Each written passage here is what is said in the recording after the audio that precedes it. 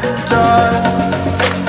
Oh, I am restricted, fixed upon the web. I need to kick the habit that my mind is free.